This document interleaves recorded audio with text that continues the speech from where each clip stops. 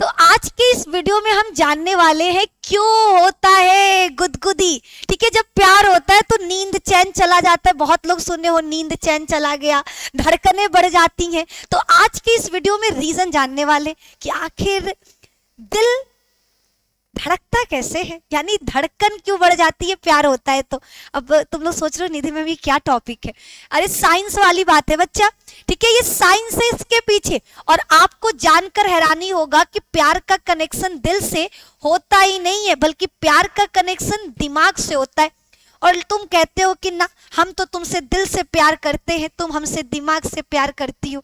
तो अभी पता चलेगा कि जितने भी रांझा, मंजनू, प्रेमी, प्रेमिका, रोमियो, जूलियट, ये लोग घूम रहे हैं ना, भैया, गड़बड़ उनके दिल में नहीं, गड़बड़ उनके दिमाग में था। तो आइए इस वीडियो में चर्चा करेंगे कि आखिर क्या रीजन है जिसके वजह से नींद चैन प्यार के वक्त चला जाता है या फिर किसी इंसान को जिस इंसान से हम प्यार करते हैं, उसे देखते ही हमारे धड़कनें तेज हो जाती हैं। ठीक है कुछ कुछ होता है वाला राहुल अंजलि। ठीक है, ये वाली फीलिंग आने लगती है, ऐसा क्या है? ऐसा क्यों होता है? इस वीडियो में हम जानेंगे। तो आइए यहाँ पर जानेंगे कि लव हार्मोन यानी प्यार वाला जो हार्मोन है, उसका नाम है ऑक्सीटोसिन यानी जब आप लोग ये सुनते हो ना कि प्यार हुआ तो दिल की धड़कनें तेज हो गई, प्यार हुआ तो नींद चैन चला गया, उसके पीछे हमारा दिल जिम्मेदार नहीं होता, बल्कि उसके पीछे जिम्मेदार होता है ऑक्सीटोसिन हार्मोन ऑक्सीटोसिन हार्मोन को ही लव हार्मोन के नाम से जाना जाता है, जो इंसानी दिमाग आकर्षण के दौरान उत्पन्न करता है। यानी जब भी, ठीक है, जब भी हम किसी के प्रति आकर्षित होते देखो, ये हार्मोन ऐसा नहीं किसी भी उम्र में बनना शुरू हो जाए, ऐसा भी नहीं है, ठीक है? आप नोटिस किए होंगे कि 12 साल से पहले की जो अवस्था होती है बच्चे की, वो हमेशा दोस्त, लड़के, लड़कियाँ साथ में बैठते, खेलते, उनके बीच में कुछ नहीं होता।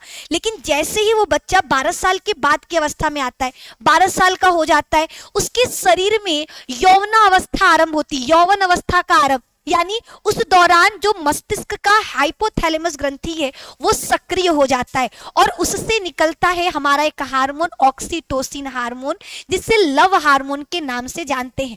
ठीक है? तो एक बात बताओ, क्या किसी को देखकर आपको भी कुछ कुछ होता है। अगर हाँ तो जान लीजिए कि इसके लिए आपके भीतर मौजूद लव हार्मोन जिम्मेदार है। तो अगर आपको भी किसी को देखकर कुछ कुछ होता है वाला फीलिंग आ रहा है तो इसके लिए आपका दिल जिम्मेदार नहीं है, बल्कि आपके ब्रेन से निकलने वाला ऑक्सीटोसिन हार्मोन जिम्मेदार है। क्योंकि ये हार्मोन ही आपके प्यार के लिए या फिर बोल सकते हैं कि दो लोगों के बीच में अट्रैक्शन के लिए जिम्मेदार होता है। जिसे आप चाहते हैं उसे देखने के बाद ये लव हार्मोन की जो मात्रा होती है वो बढ़ जाती है, ठीक है? जैसे आप किसी को भी पसंद करते हो, आप जैसे अचानक से देखोगे हाइपोथैलेमस सक्रिय होगा और वो सक्रिय होकर कौन सा हार्मोन लव हार्मोन को क्या कर देता है? सक्रिय कर देता है, निष्कासित करने लगता है।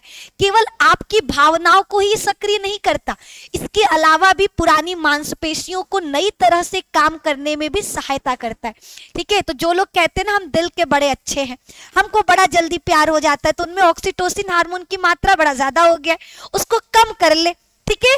और वही जो ऑक्सीटोसिन हार्मोन है, ये सिर्फ़ प्यार के लिए ही नहीं, ऐसा नहीं कि ये केवल फीलिंग्स के लिए जिम्मेदार है, बल्कि ये हमारी जो मांसपेशियाँ, जो पुरानी मांसपेशियाँ कोशिकाएँ हैं, जो खराब हो चुकी हैं, उनको भी क्या करता है? सक्रिय करता है। तो कहीं ना कहीं ये हार्मोन हमारे शरीर के लिए भी क्या है? बहुत ही ज़्यादा यूजफुल है। आइए, आगे बढ़ते हैं। आगे कुछ और लव हार्मोन के बारे में ही बात करते हैं। किसी से प्यार हो जाए तो पेट में गुदगुदी होने लगती है। ठीक है, आगे उसकी नींद क्यों उड़ जाती है? भूख प्यास बंद होने लगता है। ये सारे सवाल मेरे पास भर भर के आ रहे थे। सच बता रहे, बहुत सारे क्वेश्चन आए।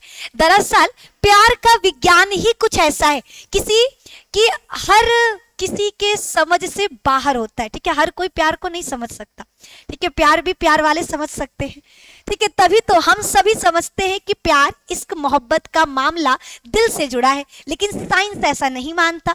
विज्ञान का मानना है कि कुछ कुछ होता है वाला जो फीलिंग का कनेक्शन है, वो दिमाग से। दरअसल, जब किसी पर दिल आता है, जो फीलिंग होती है, उसके पीछे दिमाग से रिलीज़ होने वाला हार्मोन लव हार्मोन जिसे कहते हैं, वो क्या करता है जिम्मेदार होता है प्यार के लिए।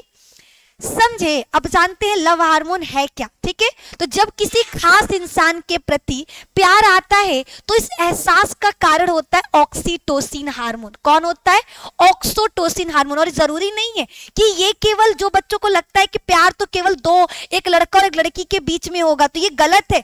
माँ और बच्चे के बीच में भी प्यार होता है। उस दौरान भी ये हार्मोन निकलता है। जब एक माँ अपने बच्चे के सर पर हाथ रखती है तो उस दौरान बच्चे को जो अच्छा लगता ना कि हाँ मेरी माँ, ठीक है, जो आपको अंदर से माँ के लिए प्यार निकलता है, वो इसी ऑक्सीटोसिन हार्मोन के वजह से, ठीक है? यह प्यार माँ बच्चे के प्रति भी हो सकता है लाइफ पार्टनर का एहसास भी हो सकता है कपल का प्यार भी हो सकता है इस तरह की फीलिंग के बाद ऑक्सीटोसिन हमारे दिमाग में हाइपोथैलेमस के नीचे वाले हिस्से में मौजूद पीयूष ग्रंथि से निकलता है। जब भी आपको कोई पसंद आता है, किसी का एहसास आपको अच्छा लगता है, ठीक है, किसी के आसपास रहना आपको पसंद आता है, किसी का टच आपको पसंद आता है, उस, ये किसके वजह से होता है? क्योंकि उस वक्त हमारी जो हाइपोथैलेमस ग्रंथि है, वो सक्रिय होती है और वो एक हार्मोन निकालती है जिसे ऑक्सीटोसिन या फिर लव हार्मोन के नाम से हम जिसे जानते हैं। आगे, किसी को देखकर क्यों धड़कता है दिल? अब एक एक सवाल का जवाब इसका आप लोगों को देना बहुत ज़रूरी है। बहुत लोग होते कहते हैं मैम मेरा धड़कन बड़ा तेज हो जाता है। हार्ट बीट एकदम तेज चलने लगता है।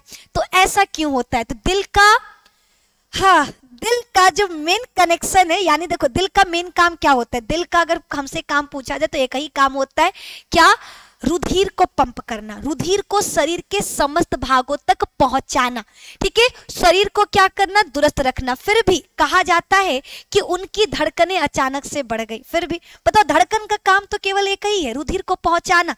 लेकिन इसका कनेक्शन प्यार से कैसे हो गया? कैसे प्यार को देखते ही दिल धड़क धक धक धक धक करने लगा। ये लोगों का सवाल है तो किसी को देखकर उनका दिल बार बार और ज़ोर से धड़क रहा है। दरअसल, जब हम ज़्यादा डर में होते हैं या खुश हो जाते हैं, याद रखना, जब हम ज़्यादा क्या डरे हो या फिर ज़्यादा खुश हो जाते हैं या फिर एक्साइटेड हो जाते हैं तो हमारे शरीर से क्या निकलता है? कैटेकोलामाइन, ठीक है? एक केमिकल है कैटाकोलामाइन करके केमिकल होता है, जो एक्टिव हो जाता है, ठीक है? और यह हमारे किडनी के पास की एंडोक्राइन ग्रंथि से निकलता है। ये देखो किडनी के ऊपर एक टोपी नुमा ग्रंथि होता है एंडोक्राइन ग्रंथि। उससे एक रसायन निकलता है, जिसका नाम क्या है? आपको पता चल गया कैटेकोलामाइन ठीक है? याद रखना, उस रसायन का नाम है कैटेकोलामाइन क्लियर ये आपका क्या होता है? सक्रिय होकर उससे स्त्रावित होने लगता है और नसों को सिग्नल भेजता है। कई रिपोर्ट्स में भी इस बात का पता चला है कि दिल और दिमाग की सेहत एक दूसरे से कनेक्ट है। कहीं ना कहीं हमारा दिल और दिमाग क्या है? कनेक्ट है। ठीक है? यही कारण है कि दिमाग से सिग्नल मिलने के बाद तुरंत बाद क्या होगा? दिल की धड़कनों पर असर पड़ता है और आपका दिल बहुत तेज़ी से धड़कने लगता है। तो आज के इस वीडियो में हमने आपको बताया जब प्यार किया तो डरना क्या? मतलब आपको इस वीडियो में हमने समझाया कि प्यार के वक्त जब किसी व्यक्ति को कोई पसंद आता है, और ऐसा नहीं, ये प्यार वर्ड अगर हम बोल रहे तो इसका मतलब आप लोग बार बार अपने पार्टनर के पास मत जाओ। ठीक है, वहाँ से आइए, प्यार किसी के बीच में हो सकता है, हमारे और आपके बीच में भी है। ठीक है, हम भी कभी कभी अगर मेरे स्टूडेंट्स हमसे मिलने आते हैं, हम, मेरा दिल धक धक करने लगता है हार्ट बीट तेज हो जाता है। ऐसा क्यों होता है? हमने आपको ये भी बता दिया कि दिल का धड़कन, जो प्यार के वक्त आपको तेज देखने को मिलता है, किसी को देख कर धड़कने बढ़ जाती हैं। ठीक है, साँसें तेज तेज चलने लगती हैं। ठीक है तो वो किसके वजह से होता है? और याद रखना लव हार्मोन के नाम से ऑक्सीटोसिन हार्मोन को जानते हैं। ये हार्मोन क्या होता है? आपके शरीर में वो लव के द्वारा होने वाली जो क्रियाएँ होती हैं, नींद नहीं आना, भूख नहीं लगना, चैन चला जाना, ठीक है? तो वो सारी चीज़ें ऑक्सीटोसिन हार्मोन की वजह से होती है। अगर आप उस हार्मोन को कंट्रोल कर लो तो आपके शरीर में प्यार वाला फीलिंग्स आएगा ही नहीं। समझे? तो उसको कंट्रोल करने के लिए हाइपोथैलेमस को कंट्रोल करना होगा। नेक्स्ट वीडियो में हम आपको बताएँगे कि क्या कोई तरीका है जिससे हम अपने ऑक्सीटोसिन हार्मोन को कंट्रोल कर ले, ताकि हम देवदास ना बने, देवदास बनने से बचे। तो नेक्स्ट वीडियो का इंतज़ार करिएगा। आज के इस वीडियो में इतना ही। मिलते हैं आपसे नेक्स्ट वीडियो में, जहाँ चर्चा करेंगे, बात करेंगे अपने नेक्स्ट टॉपिक पर कि किस तरीके से हम ऑक्सीटोसिन हार्मोन के लेवल को कम कर सकते हैं। हम प्यार में पढ़ने से बच सकते हैं। इस वीडियो में सिर्फ़ इतना ही। धन्यवाद।